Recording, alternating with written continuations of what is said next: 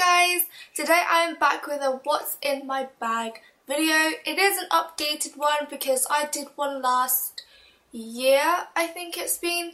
Um, I will put the link to that one down below if you guys are interested. Yeah, so I am going to go straight into um, the what's in my bag. Yeah. So this is the bag that I have been using. It is the Alexander Wang Rockie, which is the smaller one of the Rocco and um, yeah, this is really is the perfect size for me. I didn't want to get the bigger one just because I already have like loads of oversized and big bags. I just wanted one that could fit in the everyday essentials when I go out and not have like too much space left over. So I went with this one and I got it in Heathrow Airport I have a feeling it's the new terminal, so terminal 5? This has replaced my Mulberry bag, like I still have my Mulberry bag and I still use it from time to time, but I just prefer this. Yeah, so let's enter my bag and see what's inside. So first things first, my bag is pretty much dominant by my wallet because it is huge.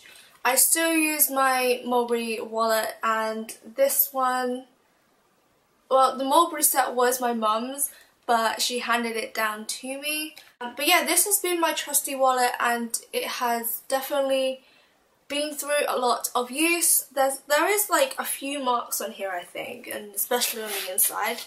But I do love this wallet. It fits pretty much everything in.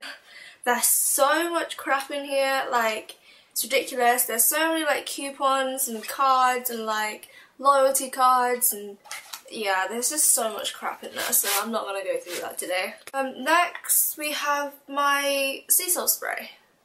This spray is literally amazing. Um, it really does give you kind of like day two hair on day one. It's by Mark Hill, by the way, and I picked it up from Boots.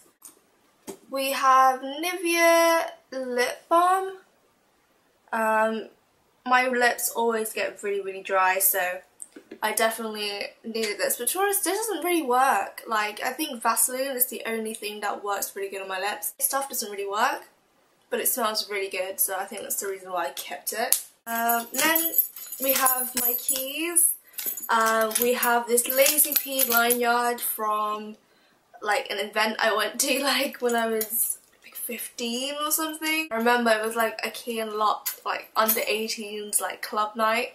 And it was a key and lock theme and you know girls were given a lock and guys were given a key and if you guys matched then you meant to hook up or something. But nobody opened my lock which is really depressing.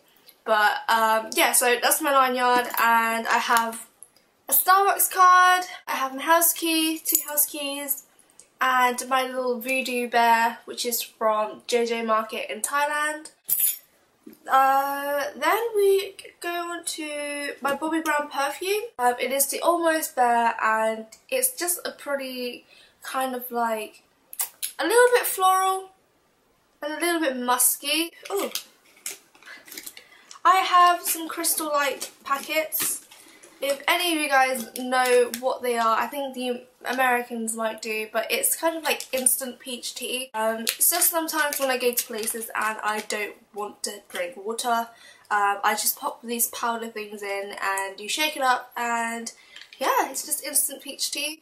And got a pen. We got some cinema tickets for 22 Jump Street, which I went saw the other day. Um, and obviously ladies stuff um, is in there as well, but obviously I'm not going to show you that because that's just bloody weird. Um, but yeah guys, that is the what's in my bag updated video and I hope you guys enjoy it. It was just something fun and light. Um, also, all the things that I am wearing will be linked down below except for this because I picked up in store and it's from Forever 21.